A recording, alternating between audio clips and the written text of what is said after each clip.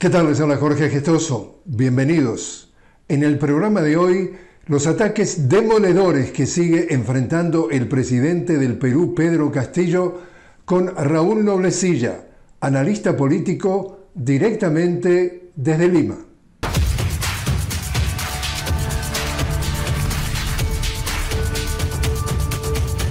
Raúl Noblecilla, una cálida bienvenida al programa. Hola Jorge, un gusto compartir contigo nuevamente. El gusto es nuestro también, Raúl, para una audiencia que nos está viendo fuera del Perú, repasando un poco los últimos cinco presidentes que precedieron al actual presidente Pedro Castillo, están condenados a cárcel, fueron imputados, se suicidaron o están prófugos de la justicia y leo, caso de Alberto Fujimori, preso, por crímenes de lesa humanidad y corrupción. Alan García se suicidó en su casa cuando dentro de su casa lo fueron a detener por los sobornos de Odebrecht. Alejandro Toledo, tras las rejas en California por lavado de dinero esperando la extradición al Perú. PPK, Pedro Pablo Kuczynski, por lavado de dinero. Ollanta Omada, por lavado de dinero. Y la candidata rival en la última elección a Pedro Castillo, estamos hablando de Keiko Fujimori, la Fiscalía peruana ha pedido 30 años de cárcel por presunto lavado de activos. Todos estos candidatos, Raúl, hay consenso en que representan la oligarquía política del Perú. ¿Qué pasa en el Perú? ¿Es endémica la corrupción de esta oligarquía al llegar al gobierno? Lamentablemente, Jorge, no te has equivocado en nada. Eh, has hecho un catastrófico recuento de lo que ha sido la democracia en el Perú en los últimos tiempos. ¿Dónde encontramos la culpa? ¿De dónde viene esta condena a la fatalidad democrática en nuestro país, un último capítulo, sin lugar a dudas, fue la dictadura fujimontesinista. Una dictadura que asalta el poder y que lo toma y lo secuestra durante 10 años. Y aún cuando tanto Fujimori como Montesinos de alguna manera son condenados y pagan también, entre comillas, sus culpas, nos legaron un infierno, nos legaron una constitución que ha sido el camino y guía de los últimos gobiernos de nuestro país. Una constitución que más allá que no tiene legitimidad por haber nacido por un golpe de Estado, sino que impuso una teoría económica neoliberal que apartó al Estado, que convirtió al Estado simplemente en un observador de lo que los grandes y los oligarcas de siempre han intentado hacer en los últimos años. Esto, por supuesto, con la complacencia de los Estados Unidos y con la complacencia de otros gobiernos o potencias que encuentran pues en el neoliberalismo la mejor manera de guardar también esos supraintereses que a ellos sienten corresponderles. La corrupción es parte de esto, ¿verdad? La corrupción es parte de esto y solamente para darte un dato más eh, dentro de lo exacto que ha sido Jorge.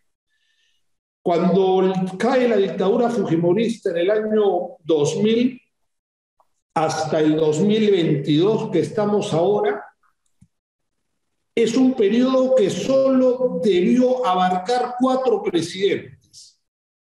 Acá elegimos cada cinco años, bajo las reglas de la democracia que tenemos.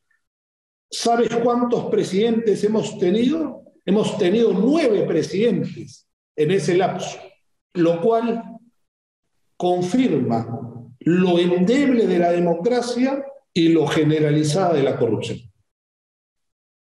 En el caso del actual presidente Pedro Castillo, repito, lo que eh, ha sido calificado como un maestro rural que eh, hizo su campaña a pulso, que le ganó al Fujimorismo, le ganó a lo que le llaman el hechicero de la tribu, es decir, a Mario Vargallosa, le ganó también a quien también está eh, preso en una cárcel en Callao, en, la mano derecha de Fujimori, eh, Vladimiro Montesinos, como tú lo mencionabas, le ganó a Keiko Fujimori, le ganó a la oligarquía, y él dice actualmente, está denunciando, después de un año de gobierno, empezó en julio del año pasado, ser víctima de ataques, entre comillas, demoledores de la derecha para vincularlo con casos de corrupción. Lo tienen contra las cuerdas y no le dejan respirar, Raúl.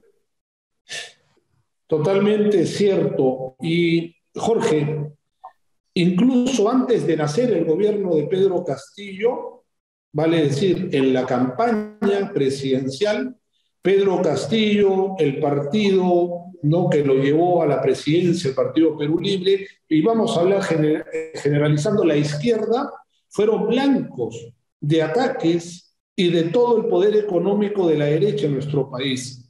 Eh, no sé, yo creo que en algún momento lo conversé contigo, eh, la derecha no escatimó ni un centavo de dinero, ni todo su poder general para intentar que Pedro Castillo no llegue al poder.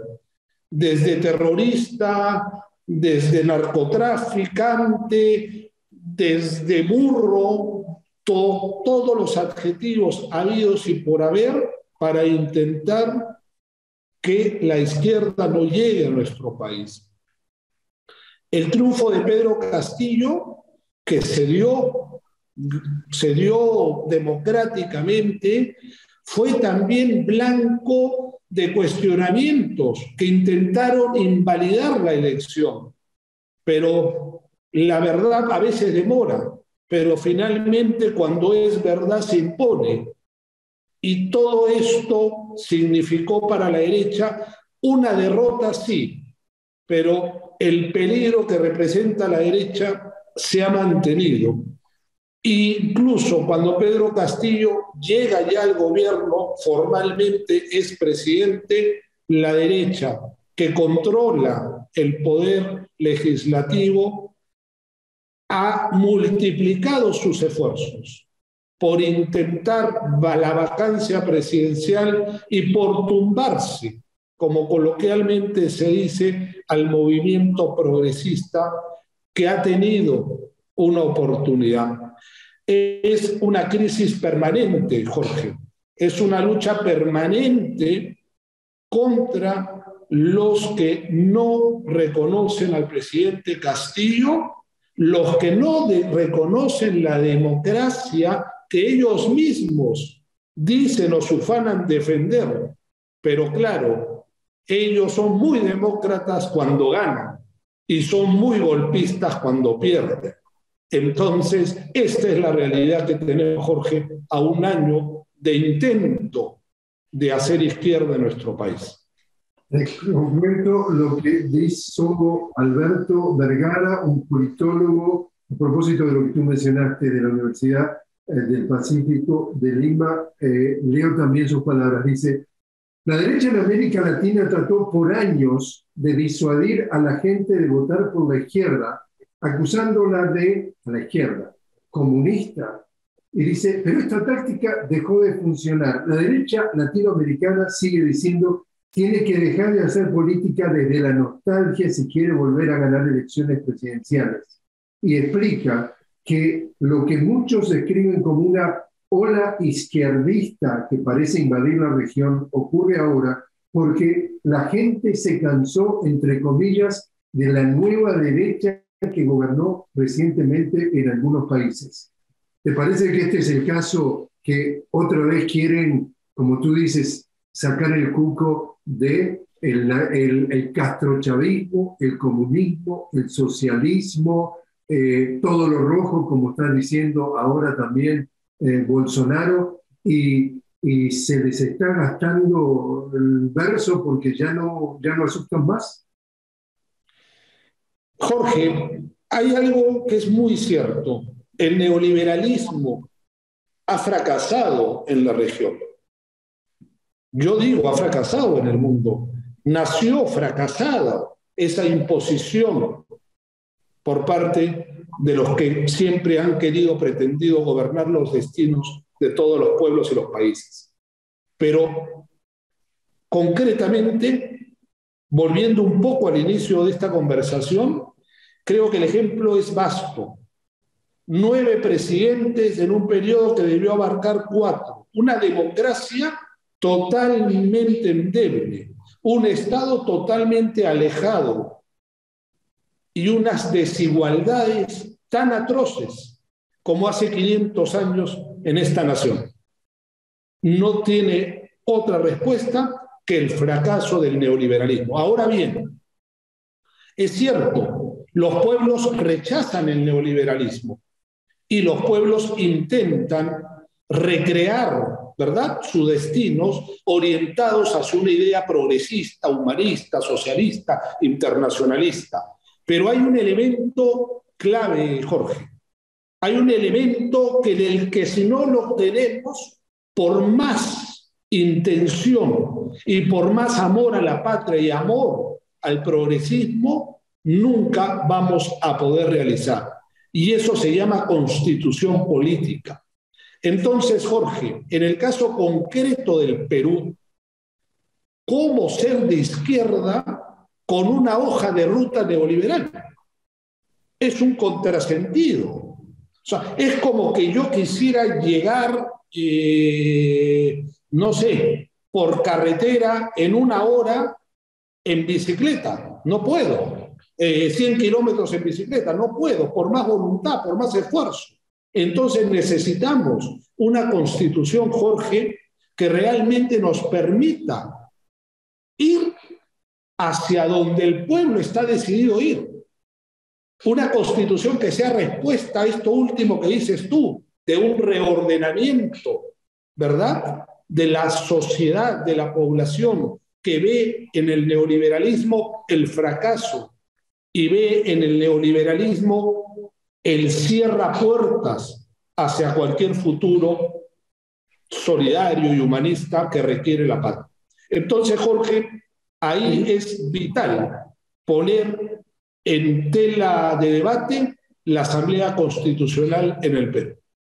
Y en ese caso es algo que Pedro Castillo lo, lo prometió o lo insinuó en la campaña y ya, ¿qué ha pasado desde entonces, Raúl?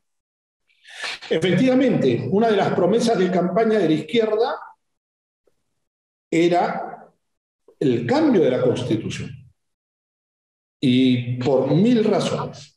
Ahora bien, nosotros tenemos la Constitución del 93, que es una constitución nacida de la dictadura y que es una constitución que supo poner sus propios candados, ¿verdad? Entonces, es una constitución que para la teoría o para la teoría legal, para tú reformarla o cambiarla totalmente, necesitas entrar por cauces del Congreso de la República, lo cual, valgan verdades, es prácticamente imposible. Se pueden hacer, Jorge, como se han estado haciendo muchas reformas, pero cuando entramos a debatir el espíritu de la Constitución, vale decir, el régimen económico, no hay forma, no hay forma de entrar en debate. Simplemente todo lo que se escuche de cambios de régimen económico en la Constitución no es posible. Ahora bien, eh, perdón, Jorge. No, te decía que eh, lo que estoy escuchando de tus palabras parece calcado de lo que estuve hablando en días recientes con Elisa Loncón, que es la expresidenta mapuche de la primera Asamblea Constituyente, Convención Constituyente de Chile, que armaron una constitución con participación popular por primera vez, y entonces ahora la derecha que la van a someter a plebiscito el 4 de septiembre, está vendiendo, y ella dice, y es mentira, que no quieren cambiar la constitución y que se reformaría la actual constitución que hizo Pinochet en 1980. Como tú decías, y él hablaba incluso de la palabra candados para asegurarse que no se cambia nada. Es decir, parece ser la misma receta que en el Perú. Eh, Jorge, pretender que la derecha se quede inmóvil es pecar de ingenuidad. La derecha nunca se va a quedar inmóvil, ni en Chile, ni en el Perú, ni en Bolivia, ni en ningún país de nuestra América Latina. Ellos, hay que reconocerlo, también son capaces de morir, de morir por sus egoísmos, son capaces de morir por sus privilegios, son capaces de hacer guerra hasta el final por no ceder. Si no tenemos claro eso, entonces estamos dándoles ventaja. Ahora bien, en el caso concreto de Perú, eh, Jorge, tenemos, como te explicaba, el camino que la actual constitución neoliberal nos dice. Vaya usted por el Congreso, es un camino y desde ahí se puede reformar. Ese camino no es posible. Y no es posible ahora, mucho menos porque la oposición, esta derecha, tiene el control de las comisiones y el control del Congreso. Y por lo que se prevé, seguirá teniendo el control de la mesa directa. Pero hay algo que no podemos nosotros eh, eh, escapar y hay algo que no podemos negar. Es el poder soberano, es el poder constituyente, y en eso, Jorge, hay que ser muy claros y que lo entienda el pueblo. Hay algo que no está escrito. Hay algo que ni siquiera una constitución ni una ley eh, divina nos puede, digamos, frenar, que es el poder del pueblo en reordenarse. Es el poder del pueblo en poner en marcha su soberanía y constituirse para cambiar y para cambiar a donde quiere el pueblo cambiar. Entonces, bajo ese precepto hondamente democrático y hondamente soberano, estamos impulsando, paralelamente de lo que se puede hacer en el Congreso, la recolección de firmas de un número determinado de ciudadanos. Debemos llegar a los dos millones y medio está en correlación con los electores válidos para forzar a un referéndum en donde el pueblo diga si quiere o no constituirse en asamblea para crear democráticamente una nueva constitución. Y ese es el camino, Jorge, que si tú me preguntas, ¿y es democrático? No solamente es democrático, es lo más democrático que se puede alcanzar en estos tiempos, la Asamblea Constituyente. Continuamos hablando con Raúl Obresilla directamente desde el Lima sobre la situación del Perú. Raúl, se está formando un nuevo partido de izquierda con el congresista Guillermo Bermejo. Bermejo, tu reacción.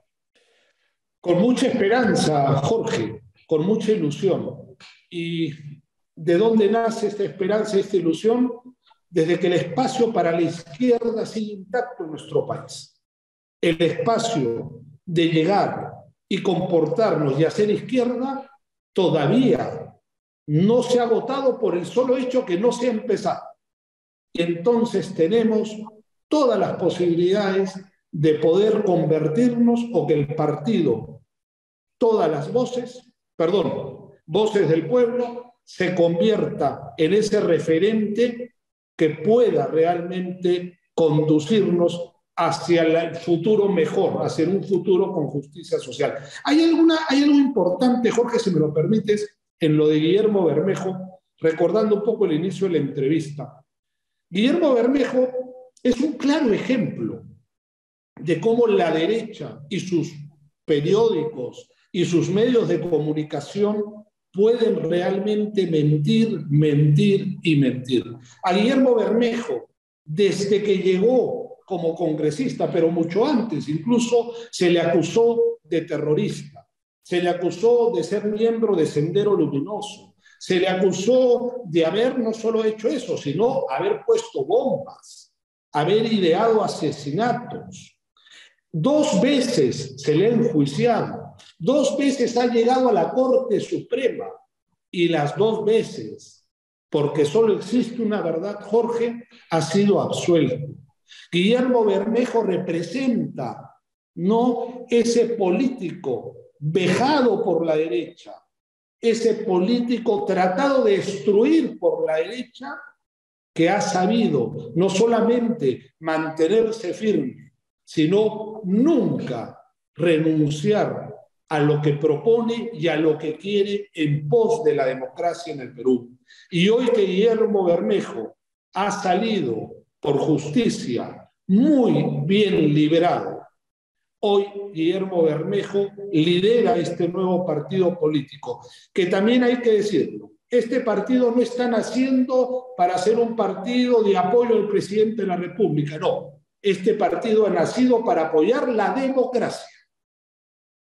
Y es algo distinto, porque apoyar la democracia significa respetar al presidente que tenemos.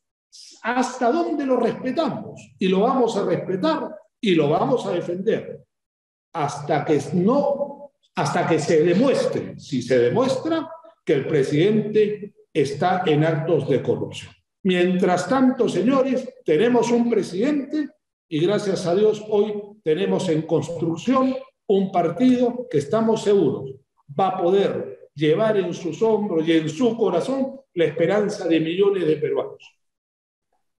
Precisamente el presidente Castillo hablaba, y yo citaba sus palabras, de ataques demoledores en su contra desde que eh, de alguna forma asumió el poder. ¿Qué papel están jugando en esos ataques demoledores estos medios hegemónicos del Perú? Bueno, eso no va a parar jamás. Eh, mientras la derecha no regrese al poder, no va a bajar eh, la temperatura, Jorge.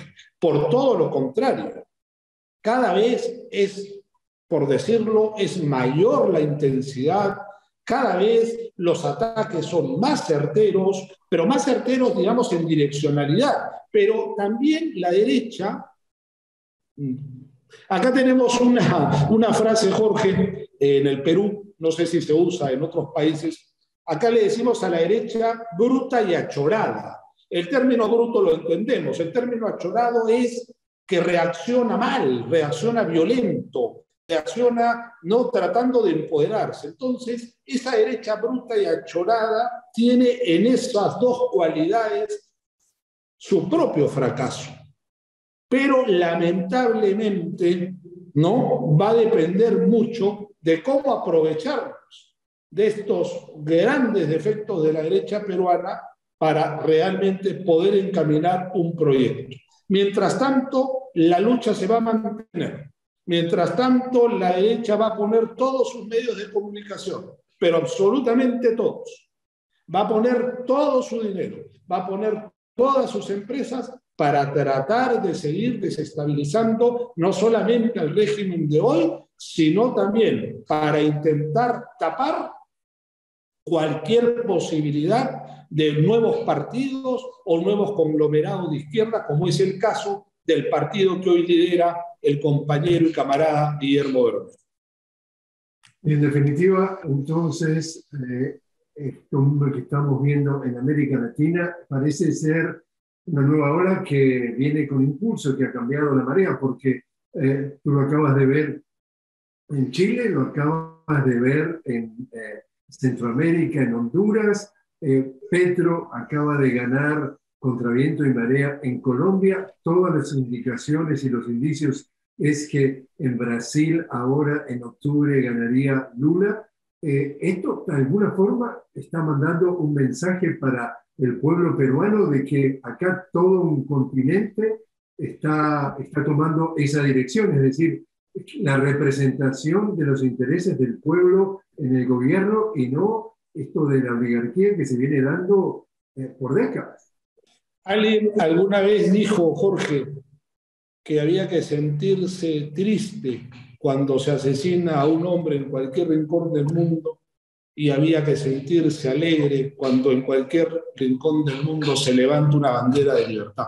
Esa persona se llamó Ernesto Guevara eh, por más críticas que se les puedan tener o no, yo quiero recoger esa frase del Che Guevara porque es una frase que nos motiva, no solamente a estos cambios que se están dando en este continente, sino que la oportunidad no pasa por cada país, la oportunidad pasa por la solidaridad que nos debemos históricamente entre todos nuestros pueblos de América Latina. Y si queremos realmente aprovechar esta nueva oleada, ¿verdad?, de progresismo en América Latina, no podemos mirarnos solos, tenemos que mirarnos como conjunto. Es un reto, por supuesto. Tenemos que superar muchas cosas, muchos egoísmos tenemos que superar seguramente. Pero creo yo que esta es una buena, no digo última, pero ya hemos tenido varias. Hay que aprovecharla, Jorge. Raúl muchísimas gracias por haber estado con nosotros. Gracias a ti, Jorge. Un abrazo.